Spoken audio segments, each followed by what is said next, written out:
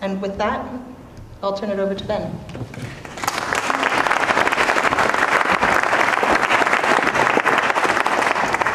Good evening. Thank you all for being here. Um, so tonight's topic is restorative agriculture. Can you hear me? Is that good? Okay. Tonight's topic is restorative agriculture, and we've all we hear many terms in agriculture. We hear conventional, we hear organic, hear biodynamic, uh, sustainable. Um, so I guess we have another word now, and the real point of this is that many different agricultural practices can accomplish good things, or labels can accomplish both good outcomes or bad. And the real focus today is I'm going to present how agriculture affects the Earth's surface, and how in managing so much of the Earth's surface in agriculture we have, it's, it's been a detriment, we also now have an opportunity. Um, so I'm going to start. This is a diagram of our rough, rough diagram of our carbon cycle. The, um, our basically photosynthesis is, has been the main vehicle by which carbon's been taken out of the atmosphere and brought into our, into our fossil reserves, our soils, um, and our living biomass on Earth's surface. About five billion years ago, the Earth was mostly carbon dioxide, the atmosphere was mostly carbon dioxide. Um, we had no life on Earth, and the first life on Earth were photosynthetic microbes that started taking carbon dioxide out of the atmosphere and bringing it into the Earth. And the reason I brought this diagram to, to, to bear is the, I want to point out that these numbers are in billions of tons. Um, right now, we are, are, facing a major climatic crisis. Um, we are letting out, if you see the factory fossil fuel, cement, and land use change, we're letting out 9 billion tons of carbon emissions per year, plus many, much more methane and nitrous oxide. And if you look at the picture of the ocean, you see phytoplankton in the ocean life system is bringing about 92 billion tons in and letting about 90 uh, billion tons back out. The ocean sequestering about 2 billion tons of carbon dioxide per year. And on land, photosynthesis is bringing in about 123 billion tons uh, per year, and then plant respiration and microbes are letting about 120 back out. So that if we look at the math of this, we have a tremendous problem.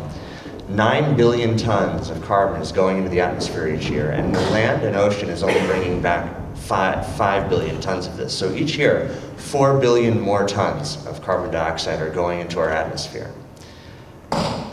And why is farming so important in this? Well, farming is so important. If you look at this map of the world, the green areas are where we have where we have crop uh, pasture land, and the uh, orange areas are where we have cropland. And of course, there are many other smaller locations. But over 40% of the Earth's surface is now used for agriculture. And if the Earth's surface is what's photosynthesizing, and the areas where we're using agriculture are the areas capable of photosynthesizing, along with our forests, if we don't manage our agriculture properly, how can we bring more of that carbon dioxide that's getting up into the atmosphere back in?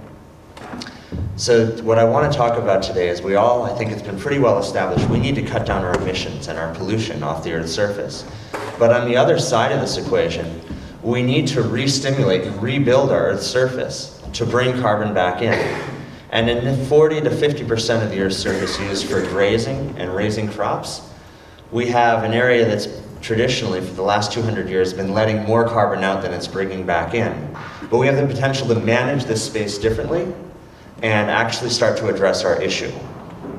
Um, I wanted to, so I'm going to talk about Stonehouse Farm. About five years ago, um, Abby, her brother and sister, took over the management of Stonehouse Farm, about 2,000 acres just south of us. And Stonehouse Farm was, had been conventionally managed in growing genetically modified corn and soy predominantly in what became a no-till rotation. Um, and we, at that time, we embarked on, uh, the decision was made to convert the farm to organic and we started a planning process. And I'm just going to share with you a first picture um, and an example of what we were just talking about. On the left-hand side of this picture, you'll see a, a soy stubble. On the right-hand side of this field, we planted we planted a cover crop. That's better. And, and I just want to point out the real basic issue here. Imagine that 42% to 50% of our Earth's surface is used for agriculture.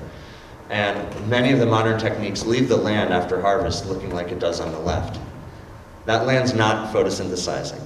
It's not contributing to life. It's not really successfully helping our water cycle, our carbon cycle, or any of our nutrient cycles. On the right side of this picture, you'll see a cover crop. And this cover crop is a mix of oats and peas and clovers and annuals and perennials. And it was the point of it was to cycle nutrients, to stimulate photosynthesis, and to feed soil microbes in the soil. This next slide is a picture of the soil from the picture on the left. You can see it's kind of bland, a little bit packed, and not very lively. And this is a picture of the soil on the right. And this is just 50 days after planting the cover crop. You can see you can see the roots penetrating the soil. You can see soil aggregates starting to build around the roots. Uh, if you look close, you can even see some legume root nodules.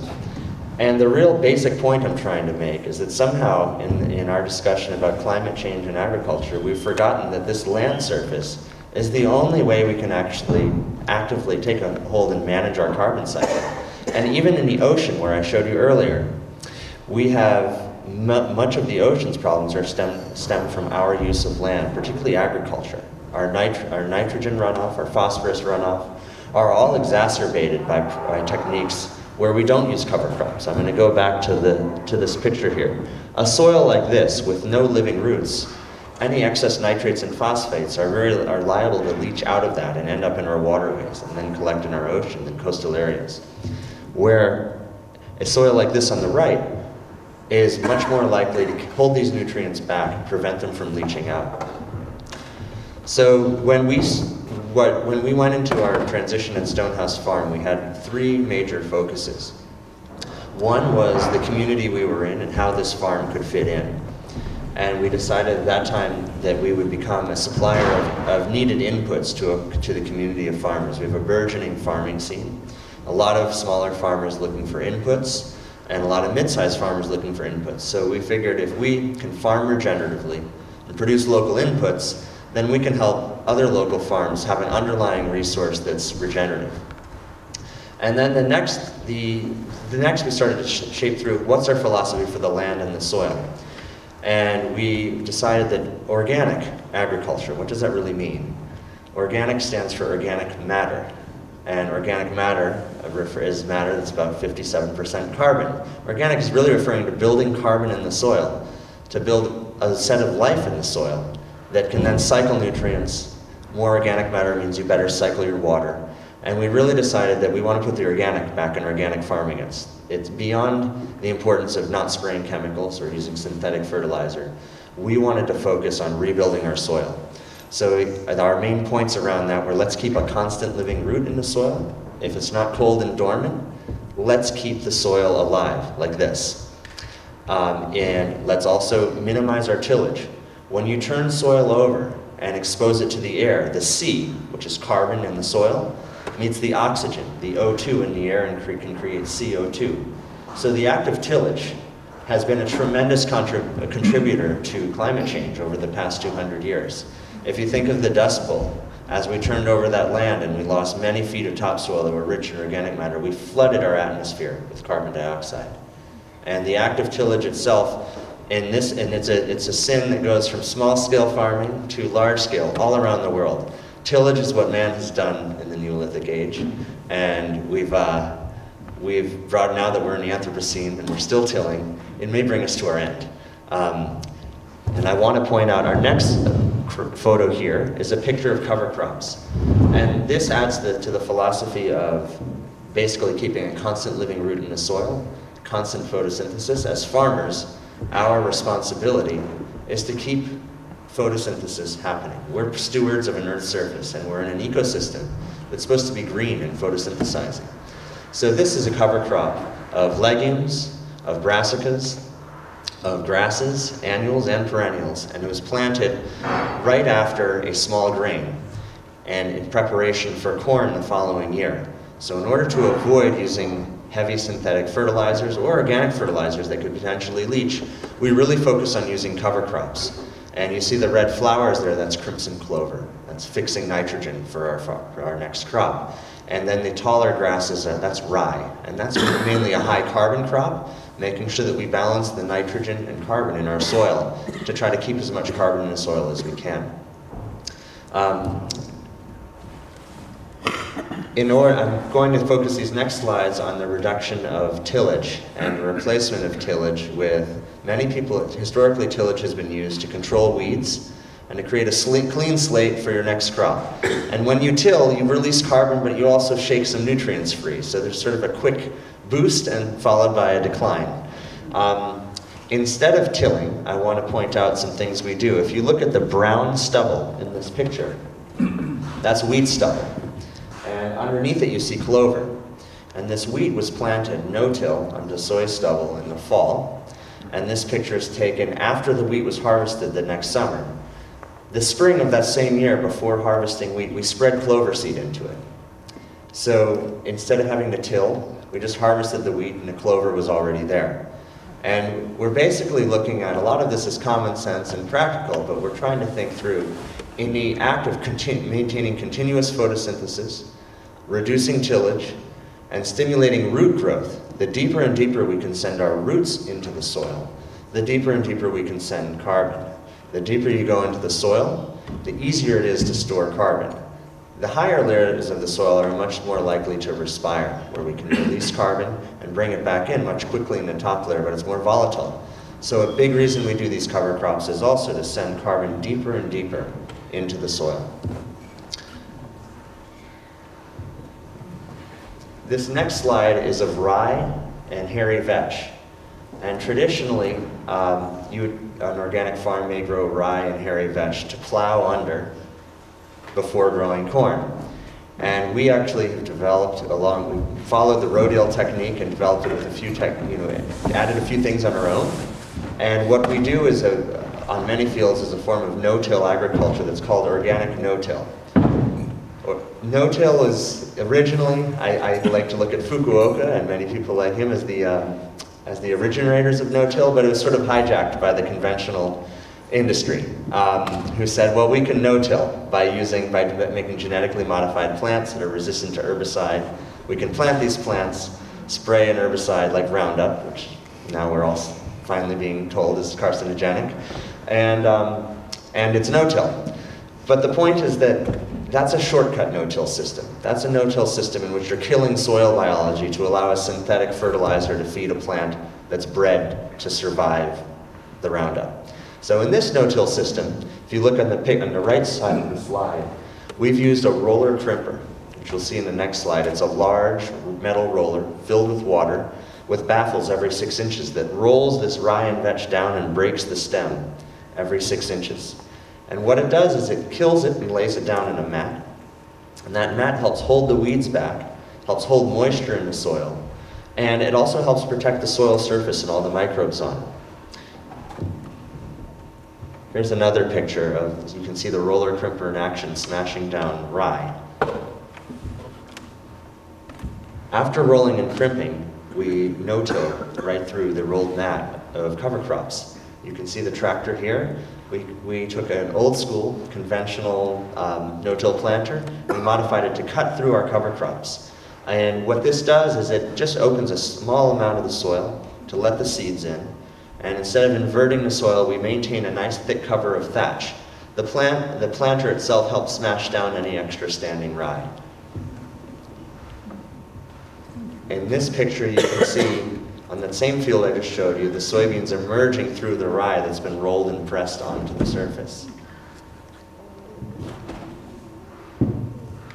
And here are those same soybeans about five weeks later. And here they are approaching maturity. And sometimes they're a lot weedier than this, and sometimes they're this clean. We've been able to accomplish yields on our, on average over our last four years, about 80% the county average, using organic no-till techniques. And in doing so, we're able to hold much more carbon in our soil, and we, we almost have no erosion now that we're able to keep this thick thatch on the soil at all times. This is a slide of a very successful corn plot where we rolled and crimped rye and vetch. It almost looks like we sprayed a chemical. That's actually mechanically killed. and we planted the corn right through it.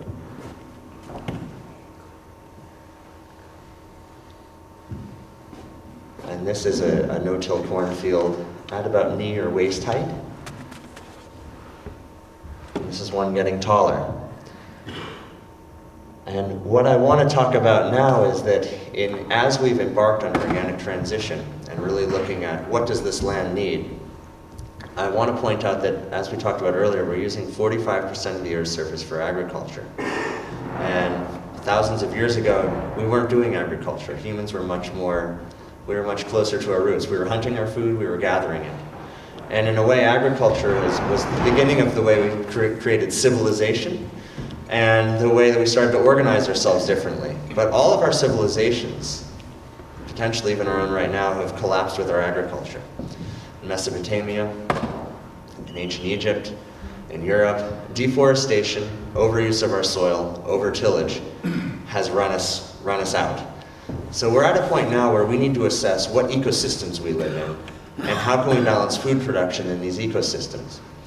So what we're starting to layer on is, in, we're in the Northeast, and I'll show you a few slides on what we need to be thinking about here, but we are an ecosystem that really wants to be a forest. And this ecosystem wants to be a forest all the way out into Nebraska. And we have to try to figure out how do we grow food and not devastate our environment and hopefully actually improve it.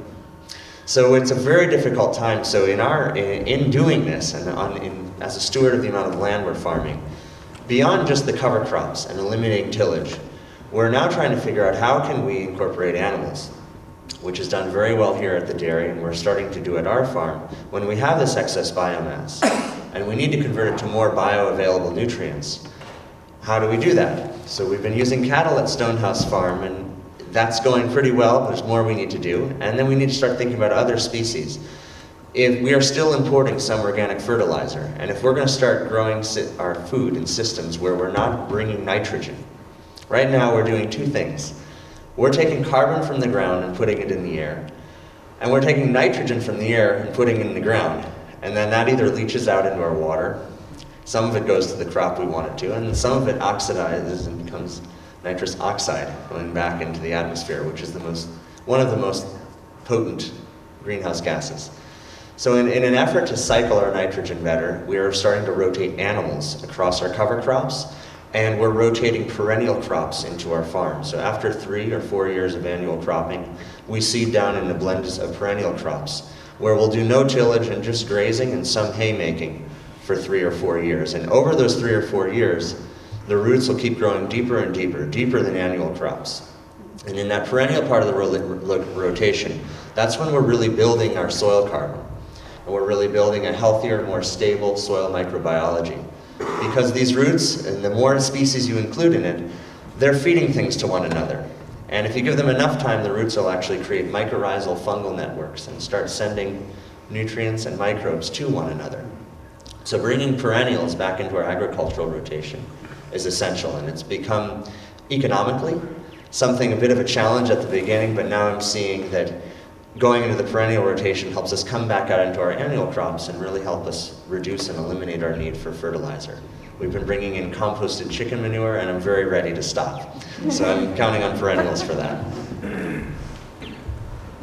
Another piece we're starting to work with is while we're in our perennial portion of the rotation, while we're in our perennial portion of the rotation, our, we really want the perennial roots to drive deeper and deeper into the soil. And we've purchased something called a keyline plow. And it's not a plow like you'd think of. It doesn't take the soil, flip it over, and expose it to the air. It actually goes through perennial crop, like you see in this slide here, these slides. And it has wings and it cuts channels underneath your topsoil, just in the top of your subsoil. And it loosens the soil from the bottom up and allows your perennial roots to surge deeper into the subsoil. And as we send perennial roots into subsoil, as roots shed, re retract in winter, that helps start to build a bit of an organic matter base in the subsoil. And the idea of the keyline plow is to stimulate perennial roots including, including legumes, forbs, deep roots such as chicory, and also grasses, to build a more biodiverse network in the subsoil. And then each couple of years you go in deeper and deeper with your keyline plow, and the idea is to grow topsoil down. When we think of soil, intuitively we all think that soil, well, it grows up. You know, the leaves and the grass and all of that piles up and makes soil. Well, the truth is that most of that actually just is oxidized by microbes and sent back into the atmosphere. What, what of the surface litter ends up in the soil is often dragged down by worms. And if you till to incorporate that surface litter, some of that may turn into organic matter, but you've also tilled and you're letting carbon out. So it's, it's sort of like the concept, if you think of a tree, we often think that that tree is made of things that came from the soil. But it's actually mostly water and carbon that came from the air. And what came from the soil is only a minute part of that tree. So it's the same with soil. The fastest way we can grow soil and the biggest place to push our soil is deep, is underneath the topsoil in the subsoil. It's soil there, but we want to expand our topsoil horizon down.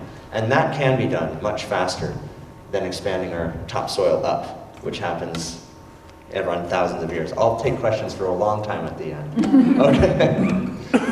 and another, if you look to the middle, um, it's an example of the plow on the left slide. The middle slide is an example of a field. Keyline plowing is really and it, it done on a land type design that was developed by a man named Alan Yeomans in Australia. And it's, a, it's beyond just doing what I explained for the soil. A keyline design is a way of really assessing a landscape based on contour and topography.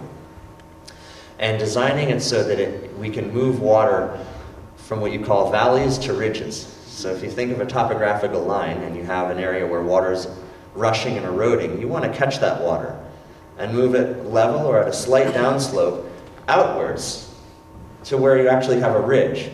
So we're starting to assess our farm's design and how we even shape our fields.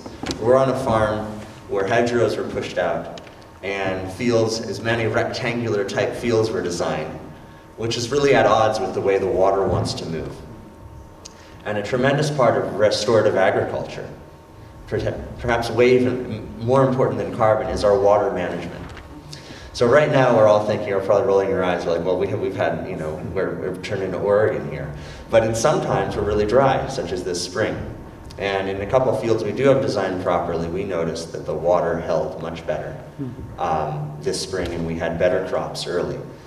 And in, as we go west into the United States, water is becoming a crisis. So a keyline design where you're moving a plow like this on contour so you're catching your water in the areas where it wants to collect and moving it out to the areas it's running away from is a great way of conserving water underground and balancing water across a landscape, which is a, a huge challenge across the world. We're very lucky in our region, but as soon as you get to the central Midwest and further, all the way through the American West, down into Mexico, up into central Western Canada, and across the world, sub-Saharan Africa, land design and water are essential. Once you design your water flows, it becomes a lot easier to use the, all the practices that I just explained. So while we're sort of like, we have a luxury of water in our area, we're still assessing our land shape. So that if you look at a field that was a rectangle cut on a landscape going like this, in the low spots we'll have often too much water, in the high spots not enough. So redesigning our land to balance that is, is another essential part of what we're doing. And the next step of this is somewhat conceptual. Uh, we've begun designing in our keyline design how on the farm we're going to plant trees and hedges. Um, in certain parts of our farm, it's going to be large open spots, but in some areas, particularly our low waterways, which were tiled in a very traditional way. Tiling can be helpful, but it also sometimes in some of our fields, it takes too much water off too fast. So we're looking to rebuild some, some forested areas, particularly we have forest islands. Um, and in some areas we may start doing some alley cropping. And these are just a couple examples. The top is a keyline landscape. Um, and the bottom is a picture of a combine combining wheat in walnut trees in France. Um, at our, I'm going to start talking about what we've been doing to, to monitor what we're doing uh, as, we've, as we've gone through this process. Um, but first I'm going to do a little bit of a recap. So the, the keys that we're really thinking of in our farming system are maximizing photosynthesis, cycling nitrogen using legumes, incorporating perennial crops, using as much no-till farming practice as we can in our annual crops, incorporating, um, as I said, animals earlier to cycle nutrients and to stimulate the perennials, um, incorporating keyline plowing to start to push our soil horizons lower, and then starting to think about how the water flows in our systems.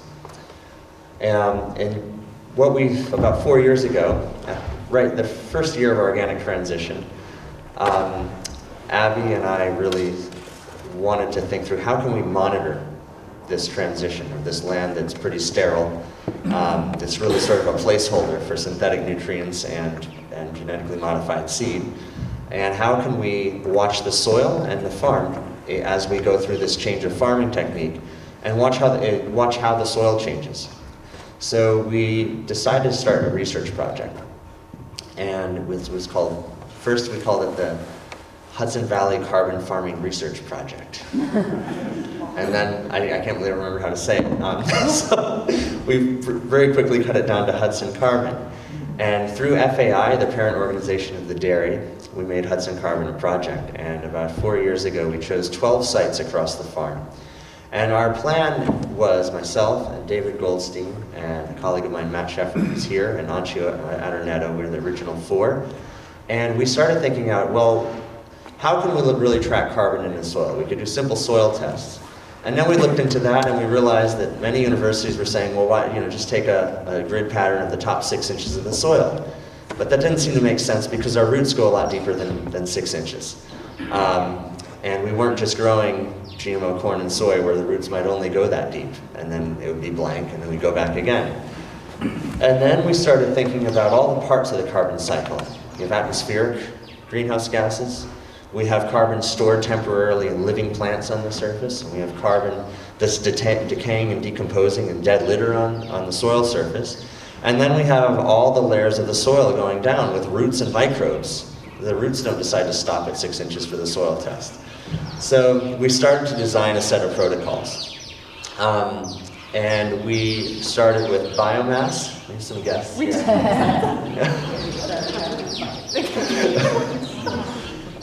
so we started thinking, how does carbon enter the soil? And the, it's really by the agency of photosynthesis. And photosynthetic activity is really um, represented by the health. The healthier and thicker your plants are, the more photosynthesis you're going to have. So we came up with a biomass monitoring protocol to monitor just how much carbon, how much biomass we have at any given time. So we do it every month on all 12 sites. We also are doing soil coring. So in the spring and fall of each year, we take three one meter soil cores. And then we cut these soil cores into five. We take three soil cores to make one sample. And we lay out all three cores from around each site. And we take the five, we cut them into five samples to understand the carbon changes at different depths of the soil. And then we, of course, we monitor and document what we do on the land. So every, every date that something is done on the farmland, if, something, if we apply an organic fertilizer, or if we do a tillage action or a no-till action, or we raise cattle, or we plant, or we harvest, we document all of that, what it cost us, so we can track if we've gained or lost money, and what our production was per acre. And then how, and on these, the idea was to do these 12 sites to really, not so much in the scientific design, but do scientific monitoring of the land and just monitor what we did in our, in our rotation. Um, I'm going to stay there. And then after um, two years, we realized that it was going to be really important to start watching the gas fluxes in and out of the ground. And we also realized that none of us were uh, really that educated. We had come up with a good way of doing it. And at that time, we were introduced through a gentleman named Tom Garreau to a scientist at the Woods Hole Marine Biological Lab named Jim Tang. And we are joined by three members of the Woods Hole Marine Biological team today. We're here, Faming Wang, Sebastian Lei, and Jin Zhao. And we are all, these, they've helped us bring our project so much further forward. And we have now, in addition to these 12 sites, added three sites of our farm where we have a, um, a real scientific design of what we're doing. We have one site, which is an organic rotation of corn to soy to wheat, where we'll use our no-till practices and cover crops and organic fertilizer on a Knickerbocker loam soil. And a conventional neighbor is doing the same. And the, um, our folks, our colleagues from the Marine Biological Lab have set up um, monitoring systems in which not only are we using, doing these techniques, we're doing an enhanced biomass monitoring, and every week we go out with a chamber and we watch how much carbon dioxide, methane, and nitrous oxide is coming in and out of the soil around those sites. We have five rings set up. Woods Hole has also set up a, a, monitoring tower where every 30 seconds the carbon dioxide reading out to the perimeter of the field is read, along with wind direction. And also, beyond that, a fluorescence system for solar-induced fluorescence. And the idea of this is to understand fluorescence is a, a, a sort of a weak wave, not as strong as infrared, but it has a direct correlation to photosynthetic activity. And we're working to use our suite of monitoring techniques to really try to calibrate our understanding of what strength fluorescence wave indicates what level of carbon uptake or loss. And the long-term goal of this is to be able to monitor land and farming systems such as ours um, using simpler, lower-cost techniques such as solar-induced fluorescence and, and simple baselines. Um, and an another um, experimental design we have is one we'll be expanding on. It's in front of the farm here, and in the field across the way is a perennial field that's used for planned grazing and haymaking, but it's all in perennials, blended. Um, and we are monitoring that field in our regular suite of techniques, and this fall we'll be doing a methane analysis of the field. And the idea there is to put a methane sensor in addition to a CO2 sensor there. Because as we all know, we hear about cattle and how bad feedlot cattle are for our atmosphere, which they are. Cattle emit methane. But when cattle, if you think about cattle, if cattle are located on a cement feedlot, and that cement really can't handle them very well. But on grasslands, grasslands have um, many microbes, but two of the predominant ones are methanogenic and methanotrophic bacteria, and they break down atmospheric methane. So that we're going to be getting a, a figure, figure out how much methane the cattle are letting out, and then watching this field's methane cycle with cattle on it to understand if the field's breaking down more methane than the cattle are letting out. And we're hypothesizing that it will, and that a cattle system in which cattle are finished on grass and don't go to feedlots is actually has the potential to break down more methane and sequester carbon and be a benefit to our climate. And that hypothesis ba is based on a really long history we have with herbivores on this planet. Um, if you think of the Great Plains, all the way from northern Canada to Texas, they were built by roving herds of herbivores. And this is a climate that was too brittle for the grasses to break down on their own. The what broke down the grasses were animals eating them and trampling them. And when they did that, the roots retracted, but these animals were surrounded by predators and moving. So when they left, those grasses had dung and urine on them. They'd been pushed down. If you think about a brittle climate, the only thing that can break down the remaining grass that the animals didn't eat are the soil microbes on the surface, and those animals would push it down. And over, I don't know if it's hundreds of thousands or hundreds of millions of years, our Great Plains became 10 to 12 feet deep. And the same thing on the, on the um, savannas in Africa and the steppes in Asia. And in basically 150 short years with a fence line, we've taken this process and broken it. And I feel I'm, I'm going to backtrack a little because I want to talk about animals. Managing animals, you can, do, you can destroy land right here with animals very quickly. Two days too long on a muddy field, and you've, you've set a field back a long time. So we have to use temporary fencing and management systems to keep animals moving here too. So that they just eat the top of the grass and move on and you don't come back until the grass has recovered or become even more healthy than it was when you left, when you first went on with cattle. So we now in our, our systems, we're thinking, there's a gentleman named Allan Savory who came up with what's called holistic management. And we try to use his fundamental principles in thinking of our management systems and how we move animals. He's from Zimbabwe and he watched the national park system with fences take beautiful land and completely destroy it.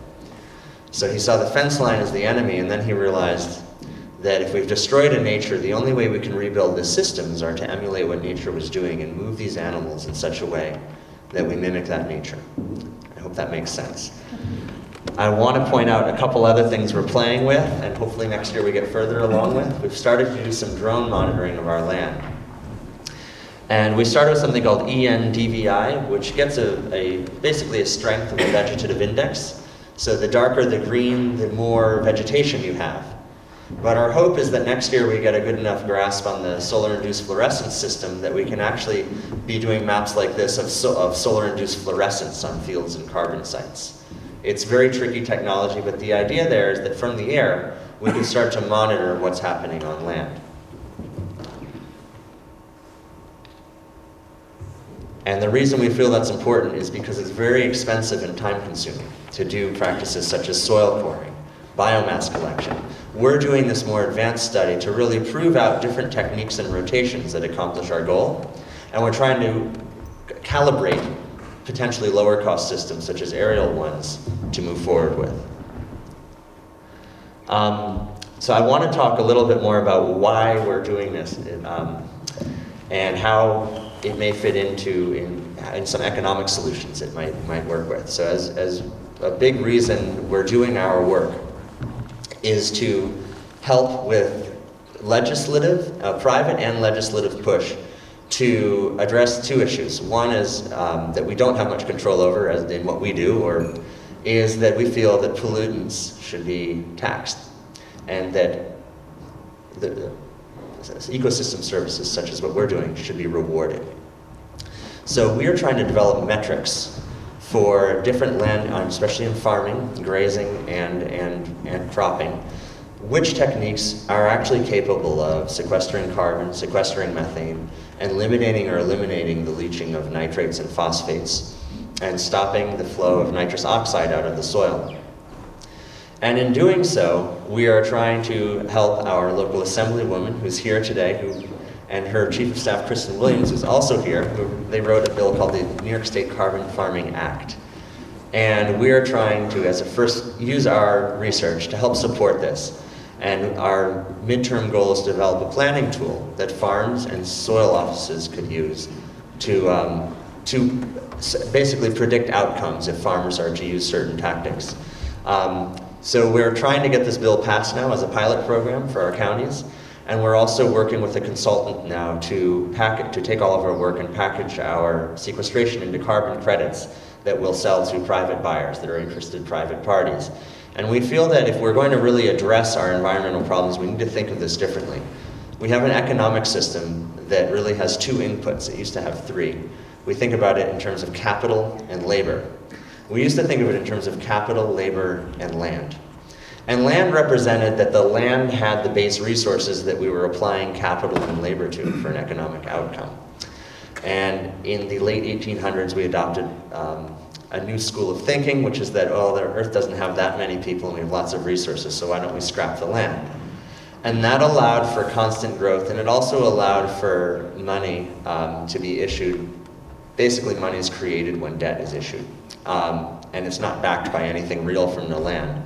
So what we're thinking, we really, in regenerative agriculture, we're thinking all the way back to that level.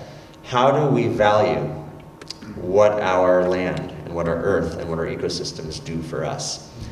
And we're taking a basic first stab at it in the space of carbon because it's measurable and it's measurable to see where it's dug up and where it's let out and how it comes back in. It gets more complicated when you go to methane or when you go to nitrous oxide.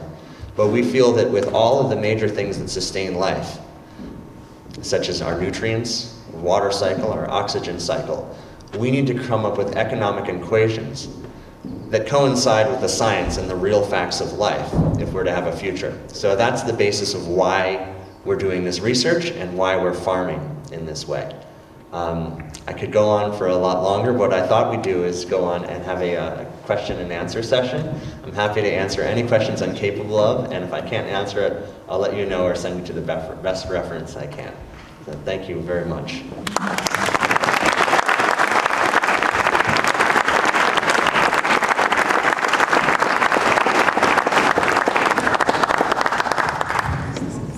So we'll say thank you, Ben, thank you really very much. Um, and I'm going to ask if there are questions, if people will please um, stand up and I'll see how far we can get the microphone to you for questions.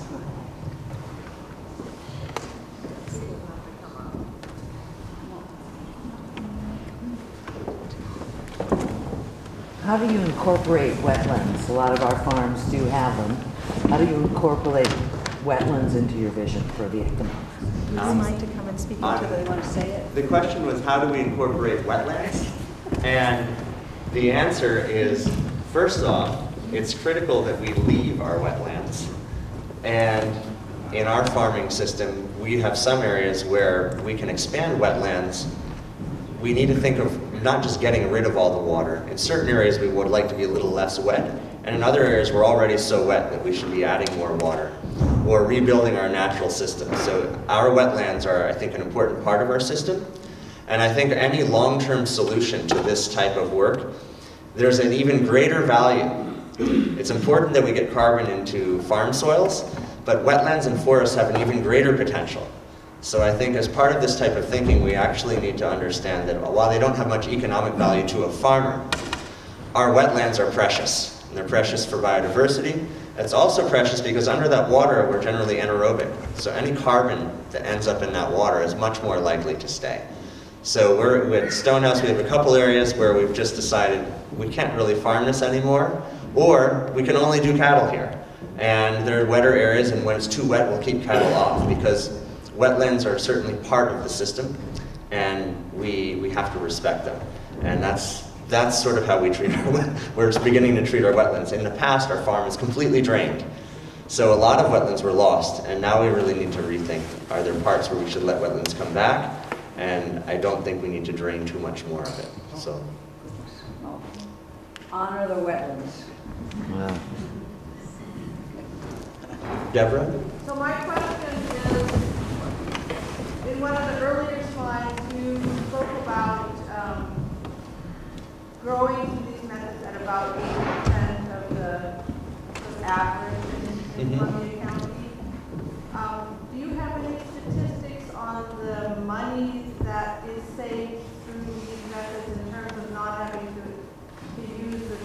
traditional fertilizer? So I. So the economic benefit on soybeans is pretty clear. Our, av- our average yield is about 80% of the counties over the past four years. And our cost is much lower because we don't fertilize them. We use rye as the previous cover crop that helps bring the potash up. And our seed cost is lower because we're not buying genetically modified seed with a patent. Um, on corn, our input costs are actually pretty similar to conventional because we have to add extra organic compost. We don't have to, but we do to get our yield up. And on wheat, our input cost is about the same per unit. But where we make out better is that our yields are, not our yields, but our, our value of the crop is higher. That being said, I think that in the scheme of things, the fertilizer inputs we're using don't really have that high of an ecological cost, whereas on a conventional input has a pretty high ecological cost.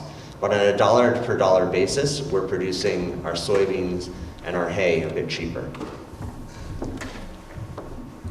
Uh, Gentleman here in the middle, right? Uh, You referenced cattle. What about sheep and goats?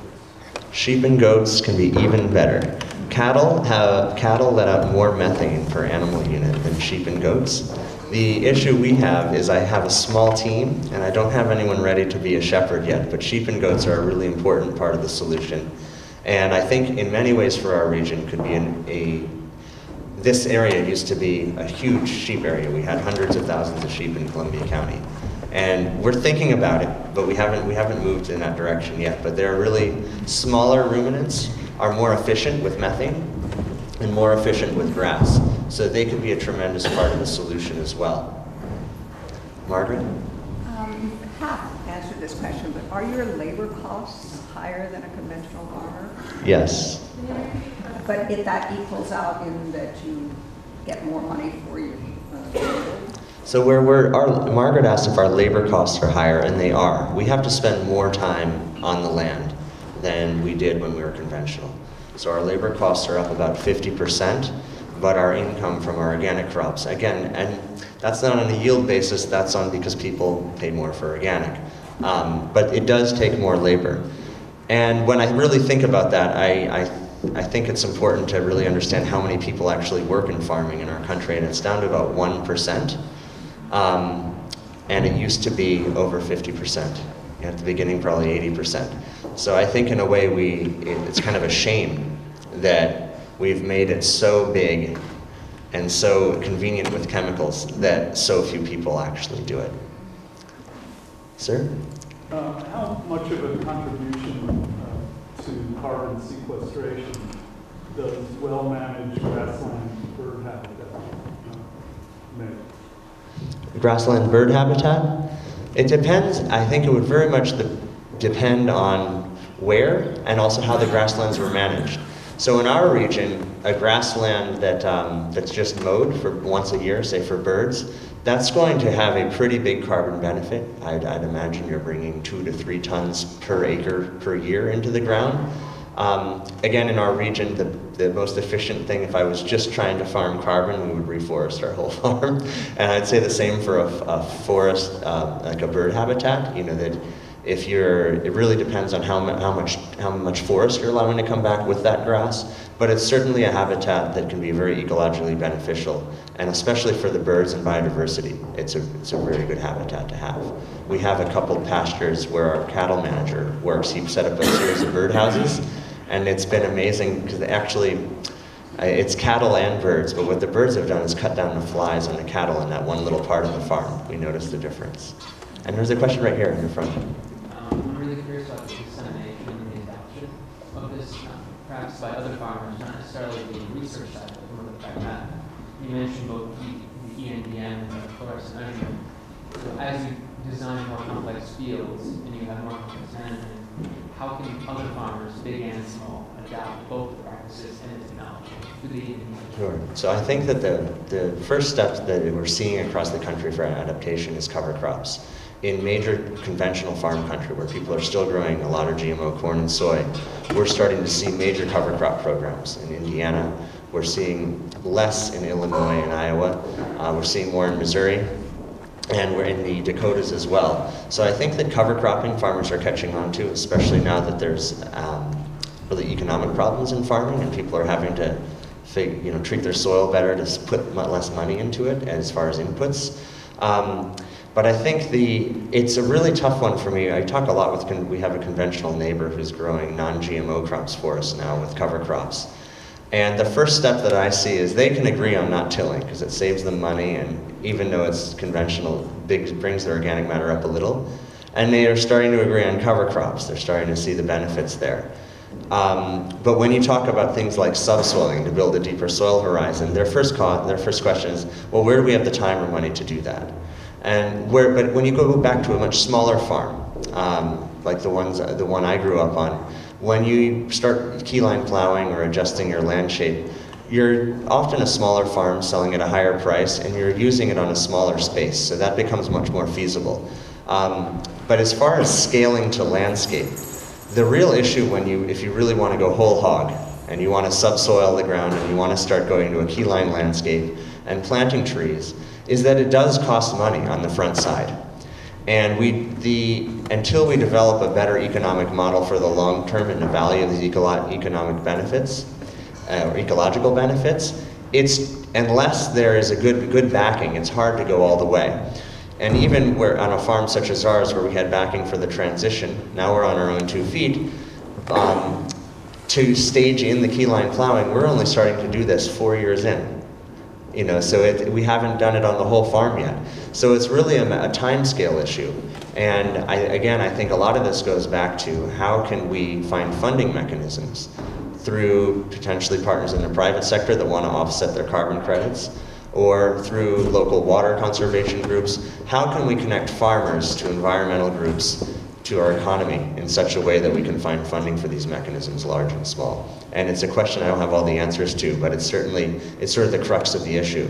But there are some really um, some very encouraging things in the cover crop space, and then also some very discouraging things. Um, I think, for example, the conversation about animal agriculture has been should really be focused on how animal agriculture is being done, not the existence of animal agriculture. We have people, um, many animal rights activists are focused on elimination of animal agriculture, and even things such as laboratory food. And this is all a race to the finish. Um, we need animals to help rebuild ecosystems. But if we put them on a concrete pad and remove them from an ecosystem, they're absolutely a problem. And all of those groups are validated. So I think that in the space of animal agriculture, we need to, we need to rethink um, what we're doing as a country and how we're doing it. Uh, for example, we have 100 million acres of corn, about 100 million acres of soybeans, and maybe 80 million acres of wheat.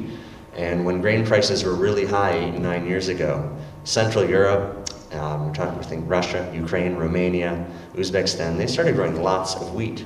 And our wheat prices have not recovered because we lost that side of the world's wheat market.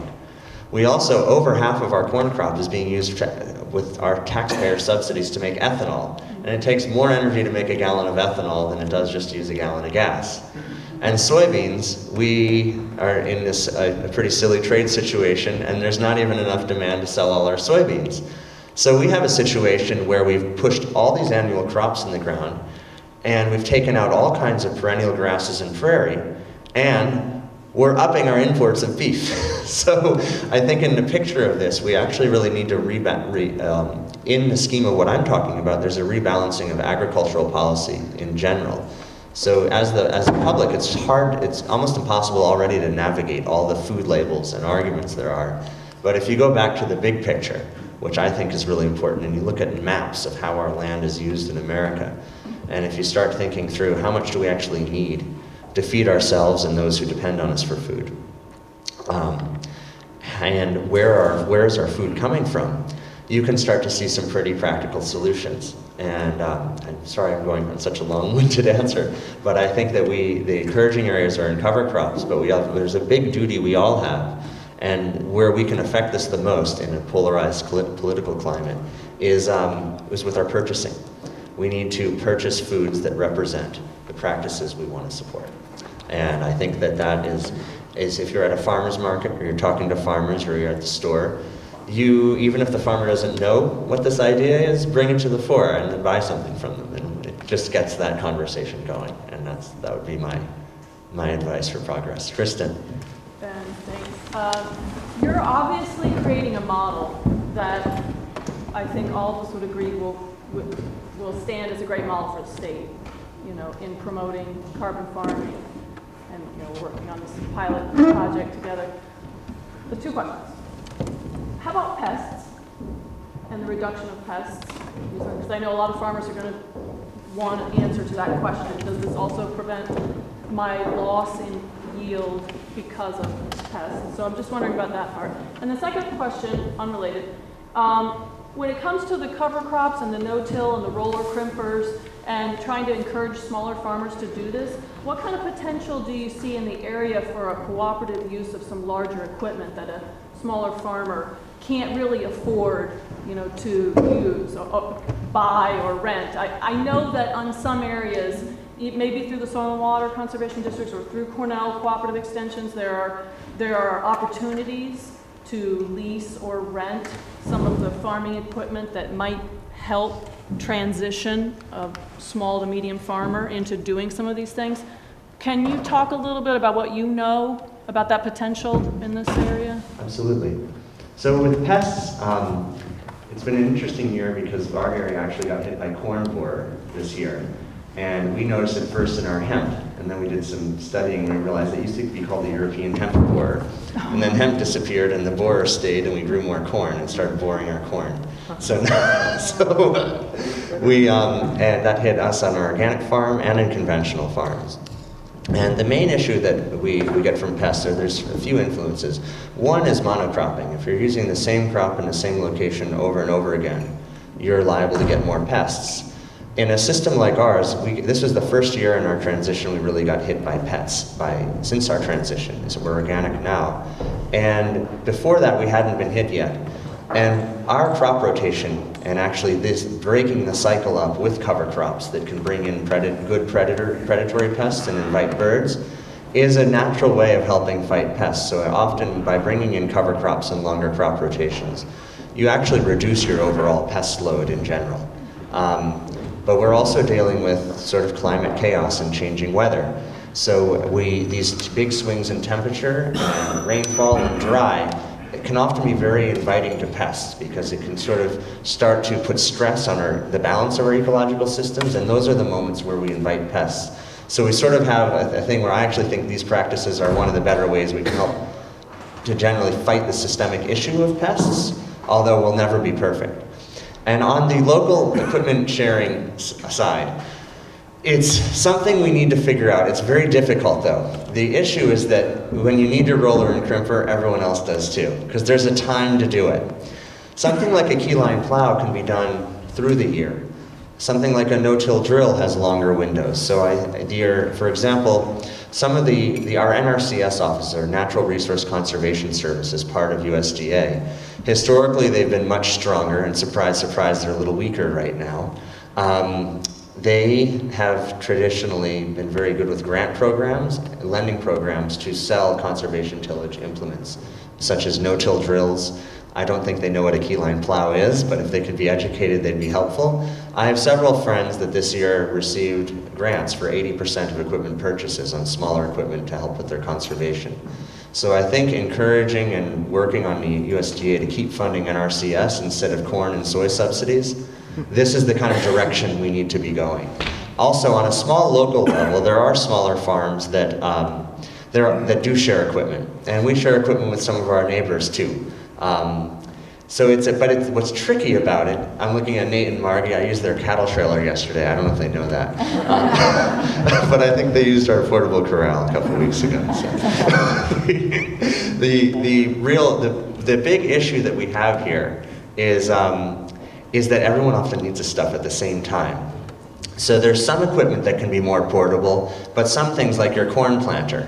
The last thing I want to talk with you about is borrowing my corn planter because I don't, I can't promise you anything until I'm not going to lend you it out to you before we're done. And after we're done, it might be too late for you. But things like a no-till drill where you have bigger windows in the spring, late summer, fall to seed down pastures, that's more realistic. And um, and things like a keyline plow, that's something where people really need education. And for example, we have a small one that we'll be outfitting to lend to someone for a few months because we have a bigger one. But it's actually, I don't have a wonderful answer for that question because it's, it's kind of fraught with challenges. Um, I, there's a, it's often a great, it's a great starting point of fights between farmers is, hey, uh, where's my cultivator? um, does anyone have any more questions? Dee Dee. Could you just talk a little bit more about where you see the methane issue going, and is there sort of a 30,000 foot uh, perspective on that? Yeah. That turns that into a way that we could actually get transportation in this region or something like that? uh, So mass I think uh, transportation? methane has, we have a real basic issue is that most of our dairies are huge. And even though we don't support those dairy practices, there are ways to capture more of their methane. So that's one go-to. The number one system I see is we need to start talking about methane as a real serious pollutant. We talk about carbon dioxide. And in a way, carbon dioxide is actually, it's a pollutant, but it's also an opportunity.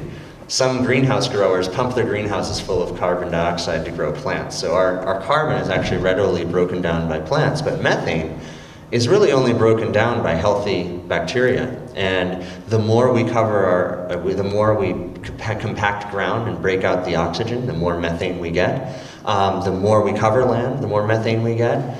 And so I think that our methane issue is first education. Um, the second issue we need to talk about is how do we promote the healthy systems that break down methane? And the third is how do we bring this argument that we're not trying to get rid of animals, we're trying to move them back outside onto pasture. Um, and then at the very end, there's another technique too, which is there are substances such as biochar and humates that if used slight, small, tiny amounts in animal feed and then post eating in their manure, you can break down the methane emissions from both the animal and, and the manure itself. So these are other, the other thing about biochar and humates in the manure is that it soaks up a lot of the phosphorus and nitrogen before, when it, while it's highly volatile and could leach, you can grab, grab it into the biochar and humates. And then that biochar and humates can be used to fertilize soil, and that phosphorus and nitrogen will slowly leak out. Um, it'll also break down, because often these manures, if they're put in anaerobic conditions, they'll produce more methane. if you use these, these substances, they'll produce less methane as well. Another part of it is what animals are eating and, and how those diets are managed. So I think that methane is, there's a multi-pronged approach. Number one, trying to get animals outside. Number two, treating the manure and the diets of the animals to try to break down methane. And number three, and which could also be the most important, is just educating the public about methane and its importance. It's sad that we can, we're thinking that we're so advanced as a society, and we don't even understand our water cycle, our carbon cycle, our methane cycle, our nitrogen cycle, our phosphorus cycle, calcium, and this is what we're actually made of, what we're breathing, and what we're belching out every day. So, like the basic stuff of life. Um, so, I think methane is part of this conversation where it's like we need to start to think of the politics and economics of real proven scientific cycles that sustain life as we know it. And I would say that's my 300,000 foot answer. Ma'am? Um, Are you thinking about, and if so, are you tracking the uh, ratio of- of fungal to bacterial matter in the soil? That's a very good question. We've done some initial assays on that to, to understand our balances. And it's been, I, we did some with uh, doc, uh, Dr. Elaine Ingham, and then we did some with a, another lab in Long Island um, called Earthfort, and one with a, a, a group in Oregon. It's all, Earthfort's mainly in Oregon, but they have a branch in Long Island. And we started to see what looked like good ratios, but it was hard to tell if the testing was accurate. And a huge part of our, our work moving forwards is to start to understand biologically what's happening. And I'm glad you brought that up because in the talk, one thing I didn't talk enough about is that the real essence of all of this is biological. So plants, I, I want to bring this back a little bit, and I'm going to use your question to do this. When a plant takes sunlight in, and then it, in its, in its chlorophyll, it's, made, photosynthesizing in chloroplasts, it's making sugars, okay? And carbon, and these sugars are carbons. Not only does the plant build itself with these carbon blocks, but like all energy exchanges, there's an excess. So the excess sugars and carbons are let out of the roots of the plant, where they're then consumed by soil microbes.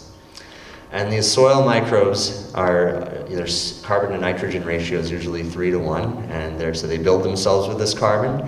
But they'll also eat this carbon and fart it back out, and it'll go back into the atmosphere. And sometimes, when you have a more fungal soil, these sugars can turn into something through mycorrhizae called glomalin. And glomalin is a soil carbon that is a potential precursor to humus. So the, the reason we did these tests was to understand what's the, so our soil biology like. So what's our potential for sequestration? It's highly linked to your biological health of your soil. And the biological health of the soil is very linked to the nutrient density and health of the food you eat. And then that has a direct effect on the biological health of you, which is, I think, the future of, of understanding our health is the understanding of our microbiome. So I'm sorry for such a long-winded answer. We've done this testing, but our, our concerns on it are we haven't found a laboratory where we can really do we until recently we have found one called Mr. DNA, and Woods Hole has some ideas too of um, how we can start to do sort of like a uh, a, a map of all the microbial families in our soil and their levels, because the the if you use these farming practices, your different your results can vary wildly based on the biological composition of your soil. So all these carbon cycles, and I, I am sort of embarrassed I didn't get into this deeply in the talk, but I'm glad you brought it up, are really deeply related to soil biology. And a huge part of what we do at planting that I didn't mention either is we meant we inject compost teas, which are biological microbial inoculants, adjacent to our seeds to help stimulate the plants. And this is just downright essential because in one tablespoon of soil, if it's healthy, it has the potential to have more living organisms than there are people on Earth in one tablespoon of soil. So if you think of, and in our own body, we have billions and billions of microbes. So I mean, if you look at a person, it's often to think a person's really a community. And, and, and we're all grown from this huge community under our feet. And in an era where we're trying to really use our, our science in a technological way, we know almost nothing about the biology underneath our feet. And what we're really doing in sequestering carbon is feeding the biology under our feet using plants. And the hardest part of this monitoring is going to be figuring, figuring out just what that biology is. Because the moment you dig some up out of the soil, you completely change that biological community. Some of these organisms live for 30 seconds, 10 seconds. You know, we're talking, so measuring this is, the, is sort of the new frontier of soil and soil monitoring. So while we can get the bio, the um, sort of the chemical, physical um, monitoring down pretty well, the next trigger we need to start to understand of how do we, the, the real potential in making these systems work even faster, because we know with certain techniques that we're using how fast, you know, we're seeing pretty good results pretty quickly, but we think that the frontier for rapid soil carbon sequestration is really going to be understanding the microbiology and how we stimulate it best. Sir? Yeah, I'm just curious if you had thoughts regarding the term regenerative agriculture as a label, um, you know, buzzword, or even a certification to reach consumers and general audiences as a way to raise awareness and demand for products and practices uh, within that umbrella, or if you think there's maybe a better general audience term, label, more precise or broad way to encapsulate what you're pointing at and to, to help build uh, positive feedback around that, the way that organic as a label has done. Yeah. Uh, so my view on this is that regenerative is, the, is a real word about what we're trying to do to our ecosystems. We're at a sort of degenerative point, in my opinion, of civilization and our, and our, and our ecosystems. So we're at a point where we, need, we do need to regenerate them. But my concern is that we have many different labels already. And then, and so many words, I think it's stronger than sustainable as a, as a term because sustainable, what do we want to sustain? If we sustain what we have now, we're all done. So regenerative is what we, we have to regenerate. Um, but as an organic farmer who grew up with organic farming parents before this, it sort of got so corporatized and large, my feeling is, is that we want to preserve stronger labels like organic, but we need to be activists in those because we have so many organic farmers that aren't, so much organic food that really isn't organic. It's grown in systems that lose carbon. So I like, there's a regenerative agri organic standard that Rod Rodale Institute and helped co-sponsor that I think is a really good idea. But I, so I'm sort of conflicted. I think regenerative is a great part of a label, but I don't, I'm hesitant to leave um, organic behind because we fought so hard for it, and now there's a fight against those of us who fought hard for it be, to, to simplify it and water it down. And that's been pretty well accomplished. But I feel like we have an opportunity, using the word like regenerative, to say, well, I'm using regenerative organic practices. I'm sort of putting the organic back in organic, is a good way to describe it. So I'm, I'm hesitant to go, go towards a whole new certification, but I very much promote the word uh, as a way to farm. And I think that we, in sometimes in our race to make things a, a, cert, a, a label, we often damage the conversation at a time when we need, I think the term and the conversation needs to spread. And then from there, people can could decide how to use it. So I think we're a little early for that, but I think it's a potential. Steve, and then you again. Yeah, well, following up from what you just said, um, seems to me like countless studies now have been done on the communication around climate to the general public and what are the right words to use and what are the wrong words to use. And I'm wondering if you have any thoughts about in the agricultural community what sort of um, language you have found to be the most effective communicating with conventional ag. So in conventional ag, I think that the key words, and I, I wish we could be a little further than this, but are you know preventative, preventing erosion, um, reducing inputs, and then also the the weather's you know may, how do we protect ourselves from major weather events. So some of the folks in conventional farming don't yet totally believe that humans are the center of the cause of climate change. And when you're farming that way, I can see how they might like to believe that. So you're often talking about resiliency. How do you prepare your farm to better protect against these more extreme weather events, like the 32 inches of rain we've had in the last 80 days here? Um, so you're talking about we've, on our Stone House, we've had 32 in the, last 80 days. The, um, so I think that you're talking about resilience. How do you build your system so that you can still get onto fields and get into the soil in your time frames? And you're talking about making your soil more friable and able to receive and hold water. Water holding capacity is crucial. So you want to talk about mainly, I think, water, preventing erosion, and resilience. But I also think it's a time where we just have to talk about the issue. Um, the we have I, I, don't, I think climate change is a nice term because it's a great way to kind of make the whole public feel like oh the climate's changing but you know we'll change with it. I think the real issue is we have like a climate catastrophe and we're right on the edge of it. So I, I what i do is I, I do talk to conventional farmers in those terms first but i make it pretty clear that i feel like we have a climate catastrophe in our hands and we have to act all of us are stewards of this land. And we have this really hard fight as farmers where farming has traditionally been a fight against nature. You know, you chop down the trees, flip over the soil, and the, the nutrients that oxidize grow your crop. and in a long time ago, when the earth was big and there weren't too many people, you could come back to that plot 15 or 20 years later or five years later. But now, in a place like Haiti, where my wife is from, or in lots of Africa, the, community, the population's so high, you're back on that same plot every single year. And in America, where we plowed away most of our topsoil, we're at a point now where we really have to try to grow food, but we have to we have to grow enough food for us. We also have to rebuild ecosystems.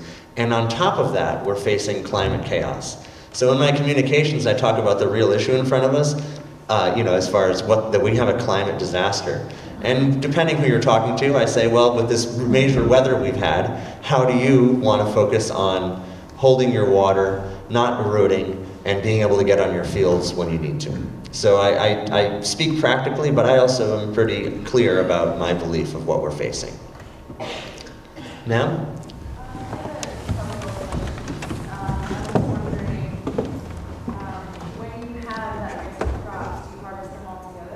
No, no, and actually that's a wonderful thing that we don't have to do. So we've, um, we we, we grow them together, but they harvest at different times of the year and plant at different times. So corn and soy are harvested at a similar time.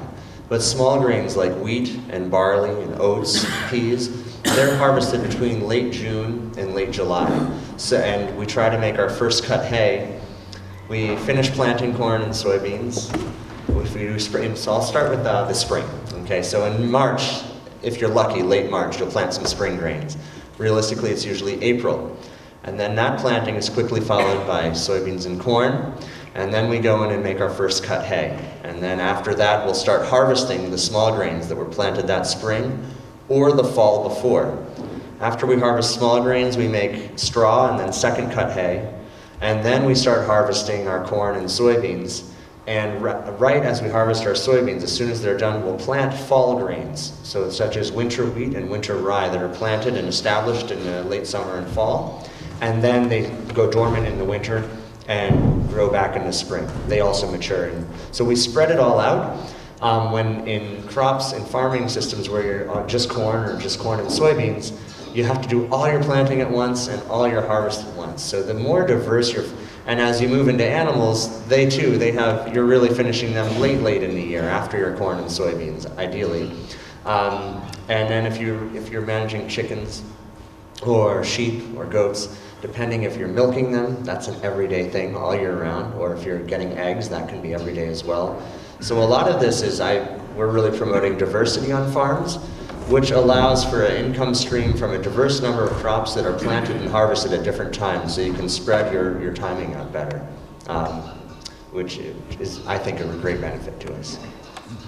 Okay, I was going to take two more questions. I was told last, but I'm going to take two more. Sir? Um, do you have any thoughts, you briefly mentioned food forests. Um, is there any uh, future planner in incorporating some uh, some manifestation of a food forest on this farm or on Actually, farm? yes.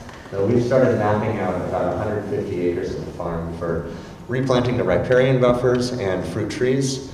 Um, we're starting with the riparian buffers and hardwoods and starting to think through where, if we don't do it, would we would invite someone to bring fruit in. Because if you look at pounds of food per acre, Fruit trees are really outdo most everything else out there. Um, and we're actually working with a group called Propagate Ventures, who's starting a nursery on our farm.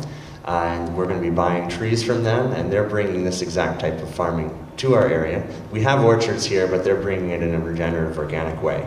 So in our farm, we plan in three years to start some reforestation work. Um, in four or five years, we'll start going down into some small areas of fruit.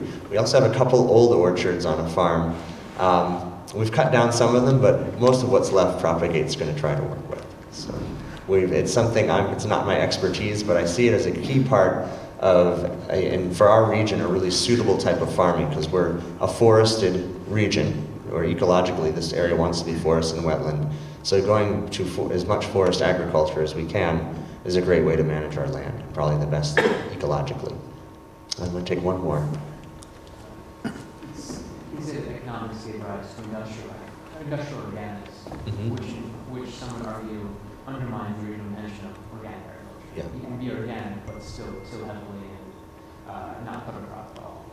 Uh, going back to the economic model you that you mentioned earlier, uh, how can you prevent the sale of carbon offsets from following the same pattern, say, the Catholic Church's sale of indulgences that gave rise to market? I think that in order to, in order to avoid these abuses, it, there's number one, you have to document. Um, you have to document, and there's a lot of con- talk about using blockchain technology to document a carbon credit as source, so that it's not sold twice, which is one potential abuse. Um, you also need to be able to verify that it was actually sequestered. And then there are issues like what if you farmed properly for 10 years and then someone took it over and plowed it all under? So there, it's, it's very complicated, and with a consultant we're working with, we're starting to speak with about this, we're talking about part of the carbon offset, any funds you bring in would go into an escrow account that could be used against any potential loss in the future. So I think to build this out, it's a highly complex model. You have to insure against future losses. You have to make sure there's no double counting. And then you also need to connect it to a real thing you're offsetting. Um, so you have to come up with some sort of a pound per pound basis of what you're offsetting, and that being what it's paying for is actually bringing that amount back in. Um, there have been a lot of sort of knockoff efforts to do this that haven't been successful. So I think what we're looking at is uh, several years of work to pull this together. Um, but I think there's many mechanisms that have to be thought out to ensure against this. I just want to say something to what you're saying, it's a huge question. And the issue is how to make some motion forward while we're in the middle of the economic system and get some funds somehow to help turn it all around. And we're just, we're in a difficult situation. This is a mechanism. Get back to the mic. Sorry.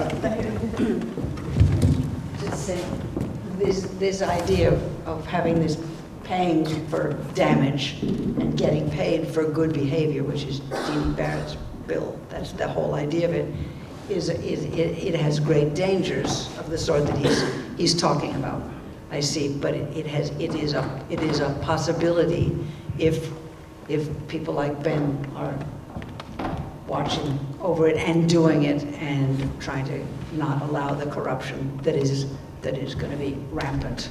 It's just, it's a piece of the work to be done while we're in the midstream, which is what we're in. Great. Thank you all. Just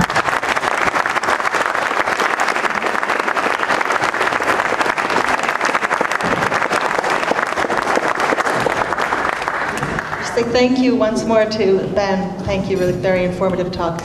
We have um, a cheese and sun tea reception prepared if people would like to stay. And I just once more again want to acknowledge our partners at Scenic Hudson.